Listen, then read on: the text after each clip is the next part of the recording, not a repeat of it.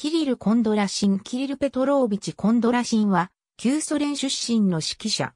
モスクワフィルハーモニー管弦楽団在任中、ショスタコービチの交響曲の初演に携わった。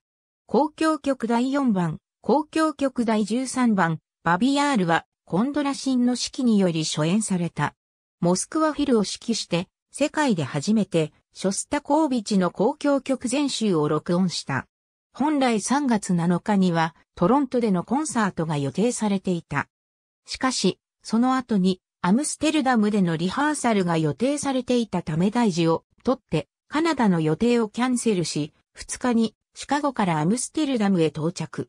7日は親しい友人らを招いて、コンドラシンの67歳を祝う誕生会が催された。パーティは翌8日朝まで続いた。11時に北ドイツ放送交響楽団の支配人からの電話で、グスタフ・マーラーの交響曲第1番と、セルゲイ・プロコフィエフの古典交響曲の指揮を懇願されるが、リハーサル時間がないことを理由に断った。二度目の電話は、内縁の妻、ノルダ・ブルクストラのラジオ局時代の元同僚からで、あったが、放送録音の予定があったためこれを断った。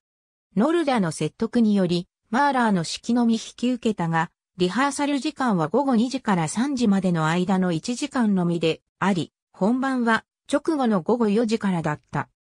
それでも、コンサートはポーターが祝いの言葉をかけるほど大成功だった。コンサート終了後、コンドラシンは極度に疲労したこともあり、祝いのために注がれたコニャックにも手をつけられなかった。5時30分からは別のコンサートのリハーサルがあったためそのままホールに残った。リハーサルの後、ノルダは病院へ行くことを勧めたが、コンドラシンはホテルに戻って休憩することを選んだ。部屋ではぐったりとソファーに横になり、食事も喉を通らなかった。ノルダがレフマルキスを駅まで車で見送り、ホテルに戻ると、ダビド・ゲリンガスからの電話があった。コンドラ神話以降誰の電話も取り継がないよう求めて、バスルームへ入るが、そこで異常を訴える。ノルダに抱えられて病院へ向かおうとした矢先に、心臓発作が起こり、デュラー博士の応急処置を受け、ローザ・ファインも足をマッサージしたが、午後11時の救急車到着から10分前に死亡した。後に、マルキスは、コンドラシンの時計が10時50分で止まっていたことを発見した。その晩のうちに、アイザック・スターンから弔意の電話があった。葬式はコンセルトヘボーが準備し、11日木曜日に行われた。ホールではネーメ・ヤルビがマーラーの交響曲第5番のアダージェットを演奏した。ソビエト時代、国営のメロディアレベルには、ショスタコービチの交響曲全集以外に、モスクワフィルトのブラームス、マーラー、ハチャトゥリアンなどの交響曲録音がある。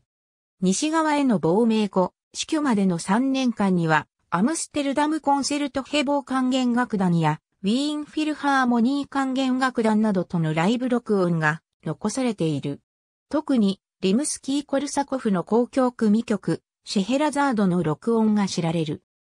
また、結果的に最後の演奏会となった北、ドイツ放送交響楽団とのマーラーは、レコード時代に北ドイツ放送交響楽団の自主制作版として曲小数が発売され、それを元にした海賊版が CD として出回っていたが、2004年に EMI が MENDR アーカイブというシリーズで正規の放送用テープを元にした CD を発売した。2011年11月現在、この CD は廃盤となっている。ありがとうございます。